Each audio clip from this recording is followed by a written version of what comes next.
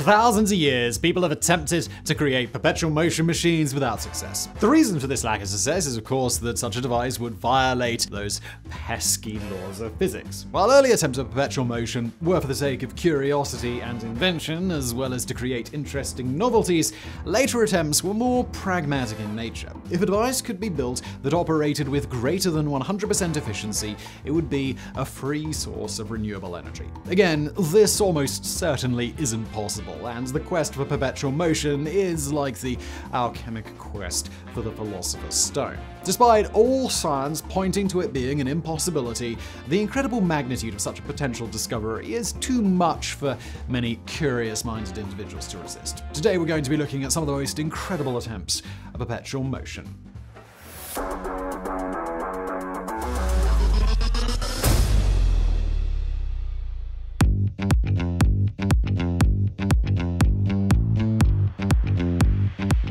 The Beverly clock resides within the Department of Physics at the University of Otago in New Zealand. The clock was created by Arthur Beverly, a man with very humble upbringings. Arthur grew up on a farm in Scotland, and at the age of 14 he became an apprentice watchmaker. He was quite skilled as a lens maker, and he began working with scientists after he made a set of microscope lenses for the University of Aberdeen. At the age of 30, Arthur moved to Australia during the Victorian gold rush. His efforts in the goldfields must have not been successful because he quickly went back to watchmaking. After a few more years, he moved on to New Zealand and opened his own watchmaking business in 1858. Just six years later, at the age of 42, Arthur would complete work on the Beverly clock. Once the mechanical clock was finished, Arthur wound it. That day in 1864 was the only time it was ever wound, and it is still running to this day, making it one of the world's longest running science experiments. So, how could a mechanical clock run continuously for 158 years without being manually wound? Well, it actually hasn't. Though this clock is still running, there have been times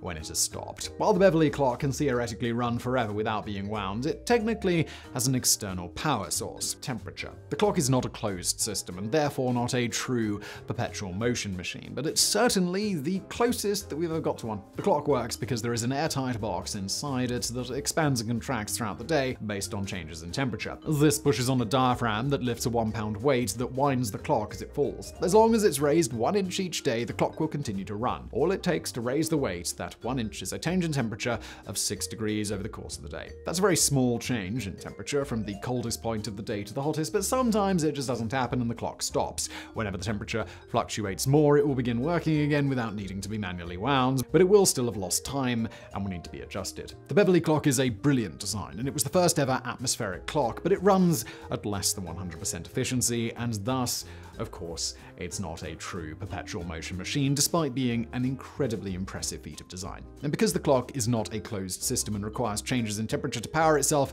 it quite literally would not function in a vacuum.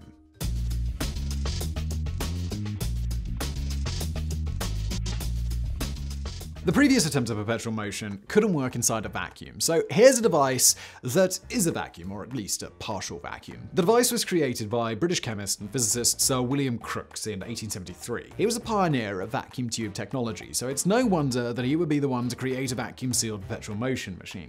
The Crookes radiometer looks a bit like a horizontal windmill trapped inside a light bulb. Despite the glass bulb being airtight and near a vacuum, the two toned panels inside undergo a continuous rotation. Unlike most attempts at perpetual motion, which are deliberate efforts, often consuming the creator's entire life, Crookes' discovery was entirely an accident. One day, Crookes was trying to get extremely accurate measurements of weight on small samples for his chemistry work, so he wanted to weigh them inside a partial vacuum to reduce any interference on the measurements caused by air currents. While doing this, he noticed that the readings would change whenever sunlight shone directly on the balance. His radiometer was built as an experiment to test the phenomena that he had observed. There were several theories as to why the vanes would rotate, with Crookes' original guess being incorrect. It took six years before scientists finally arrived at the correct answer. The vanes each featured one black side and one silver side, all oriented in the same direction. Because darker colors absorb more heat than lighter ones, the black sides of the vanes would heat up when exposed to light. The air molecules inside the bulb that came into contact with the hotter black side would also heat up and become agitated, creating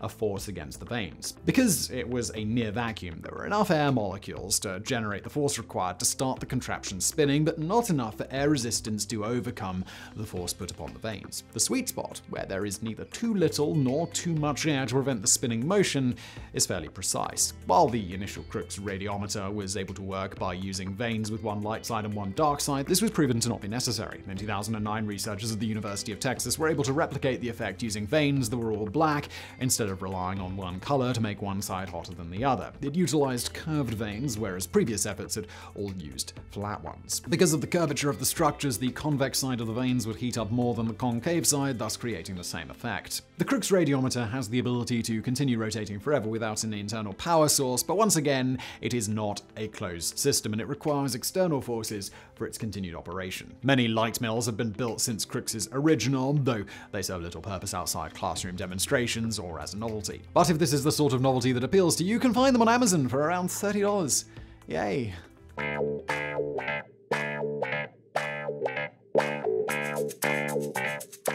What makes this entry so incredible is less the idea itself and more that a respected scientist and inventor was absolutely convinced that this could work. So William Congreve was an inventor of some renown, enough renown to be knighted, apparently. Among his inventions were a color printing press and a new form of steam engine. Most notable of his inventions was a Congreve rocket, an early form of rocket artillery for military use. For an inventor of such ability, one would think he would have better things to do than focus on the fool's errands that is perpetual motion. But he didn't, at least at the end of his life. While recovering from an illness, Congreve drew up plans for a sponge-powered perpetual motion design. The most impressive thing about his design is that it took design elements from already disproven perpetual motion machines and combined them into a one big soggy mess. His machine would combine the properties of an unbalanced wheel, a plank and chain, and the capillary effect. Individually, none of these ideas create a perpetual motion, but maybe, just maybe by combining a bunch of insufficient ideas, it would create something truly remarkable. The proposed machine featured a conveyor belt covered in sponges. On the outside of the sponges was another belt of heavy weights. The sponges would travel under the bottom of the machine through the water reservoir before being lifted onto the conveyor. Once on the conveyor, the weights would squeeze the water out of the sponges to make them lighter. At the top of the conveyor, a hose supplying water through capillary effect would soak the sponges again, making them heavy enough to drag the rest of the belt down. Now, if that sounds confusing and needlessly complicated, well, it absolutely absolutely is! Congreve never built the machine himself, nor did anyone else, as far as is known.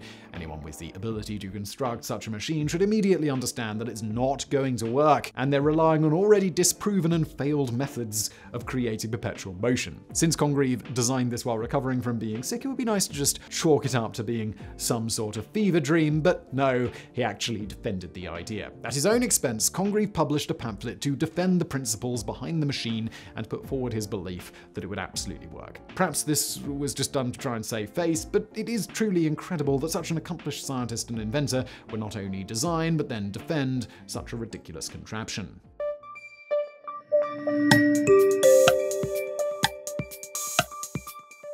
The Oxford Electric Bell, also known as the Clarendon Dry Pile, is not what most people would think of oh, when they think of perpetual motion devices. The reason is that it's operated by a battery. So why are we talking about it in today's video? Because the bell has been ringing almost non-stop for the last 182 years. The bell was constructed by instrument makers Watkins and Hill. It's believed to have been constructed in 1825, but there's no way to know for sure. What is known is that it was purchased in 1840 by clergyman and professor of physics Reverend Robert Walker, and it has been on display at Oxford University in England since then. It's located adjacent to the Clarendon Laboratory, hence the alternate name. The term dry pile comes from the type of battery used. It is the predecessor to the modern dry cell battery, and it is constructed by assembling a pile of disks of different alternating materials to create electrical charges. The Oxford Electric Bell has two dry piles, each above a bell to which it is connected. Between the two bells is a 4mm metal sphere that acts as the clapper. When the metal sphere comes into contact with one of the bells, it receives a tiny electrostatic charge that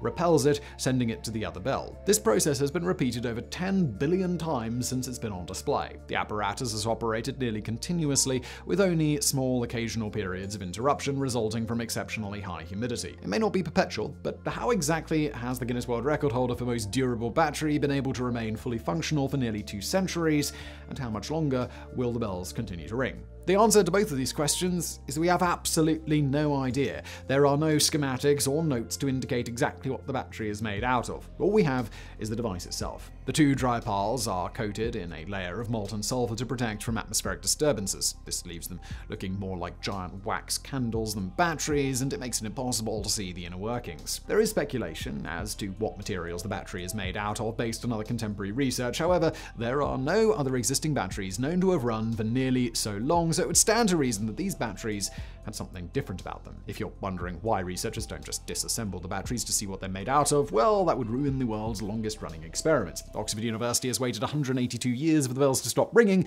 so surely they can wait a little bit longer. Or maybe a few centuries longer. We genuinely don't have any idea. On the bright side, the Oxford Electric Bell is now kept behind two layers of glass, so the ringing is virtually inaudible rather than being a constant source of insanity for Oxford students of physics. Thank you. How incredible is this device, created in 2016 by YouTuber The Project One? Incredible enough to get nearly 4 million views. The machine is incredibly simple. It features a simple wooden frame placed on top of a wooden plank. The plank is then balanced on a wooden dowel, and two balls are placed inside the apparatus. You can then watch the seesaw rock back and forth as the balls roll from one end of the chamber to the other. According to the video, it works because the center of mass of the system is continually changing. Each ball pushes the opposite side of the board, causing the oscillation. This is, of course, a complete and total fabrication how it actually works is by either strings or more likely pistons connected to the bottom of the plank that can actually be seen in the video itself if someone is looking carefully. The seesaw rocks in perfect rhythm regardless of the actual position of the balls. Incredibly, despite being an obvious hoax, many people who saw the video believed it was a real machine. Quite possibly, millions of people did. The appeal of what it being real could mean is